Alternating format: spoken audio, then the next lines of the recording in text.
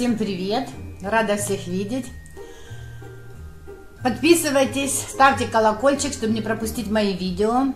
Началась серия новогодних пошивушек, рукоделочек. Будем вместе готовиться к Новому году. Сейчас я буду делать следующий свой проект. Очень легенький, который займет, ну, наверное, пару часиков, если сесть там первый раз что-то делать. Все, что это можно сделать будет даже вручную.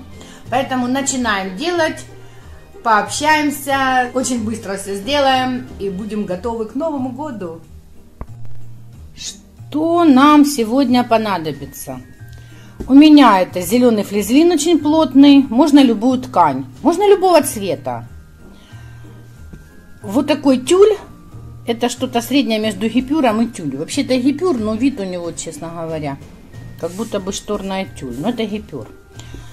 Так, и мне нужен будет вот такой драпчик. Покажу потом, что это будет. Вот у меня такой кусочек. Возможно, мне понадобится, скорее всего, органза. Ну, естественно, ниточки понадобятся. Ну и, естественно, понадобятся мне фломастеры. Я думаю, даже обычные фломастеры мне подойдут. Все. Процессы буду снимать дополнительно. Ну вот что я собрала. Я показала, что мне пригодится. Показываю, собрала, потому как э, гипюр кусочками. Я это трикотажным зигзагом собрала. Ну, когда уже будет сборка идти, я думаю, в складочках этого не будет видно. Вот такие два куска получились. Сейчас я буду их... Чтобы ничего не выбрасывать и не терять в объемах и размерах, я не буду вырезать круг я сейчас по-другому соберу. Значит так, я скалываю, чтобы без мороки собрать. И забыла размеры сказать, ну приблизительные размеры. Я исхожу из своих кусков. Какие у меня куски есть, такие размеры у меня как бы и получаются. Поэтому я, простите, не всегда их указываю. Для меня это как-то так просто. Смотрите, 30 сантиметров ширина. И длина ну, около 40. 37, 38, 38. Как-то я, знаете, так, у меня нормально уживается в голове размер, как придумать фасоны. Я извиняюсь, напоминайте мне, иногда я забываю писать размеры. Специально положила эту разделочную доску обратной стороной, чтобы было лучше видно. Смотрите, вот я сострочила, собрала и вывернула. Теперь мне осталось, вот я беру, собираю по одной стороне и наглухо зашиваю. Потом набью холофайбером и показываю дальнейшую сборку. Вот они. Вот они, видите? Показываю, что у меня уже получилось. Посмотрите, какое какая штуковинка. Значит, что у меня тут пошло, что не пошло. Я сделала размер, я показывала. Длина 30. Ширина, ну это я уже сшила. Ну, там что-то было меньше 40, в общем, 38 где-то. Но оказалось, что это слишком длинная заготовка. Я ее положу куда-нибудь, эти кусочки в пиццу пойдут. То есть я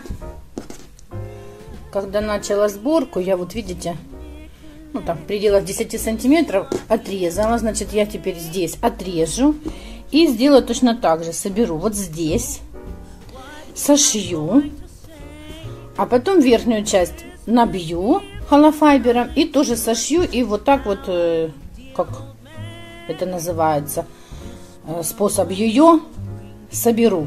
Но не до конца стягиваю, а вот Потом еще формирую, формирую, формирую, чтобы вот эти округлые части были такие вот, чтобы он был округленький. И начну делать, вот переформировала.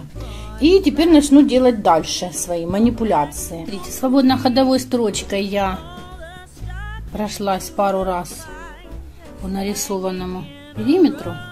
Сейчас я их аккуратно вырежу и э, обработаю зигзагом как, как аппликацию. первый листик я уже обработала. Смотрите, я вставила внутрь проволочку и сейчас попробую приработать ее зигзагом. Сейчас все покажу.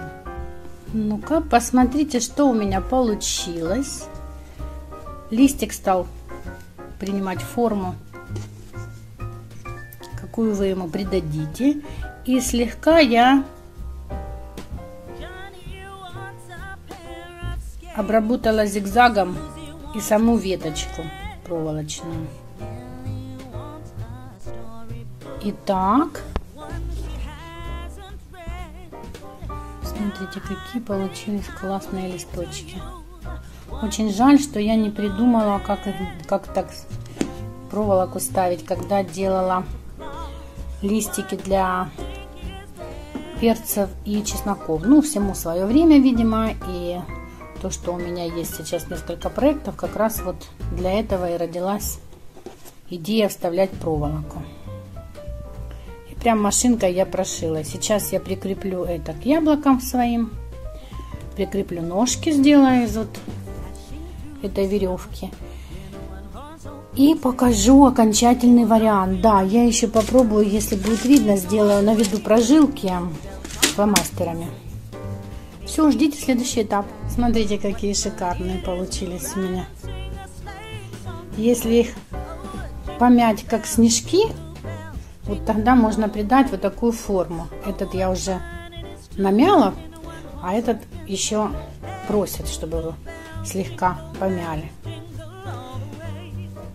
Сниму, постараюсь снять их где-нибудь на природе, на улице. Посмотрите, какая красота. Просто необыкновенно. Их можно делать разного цвета. Просто чудо.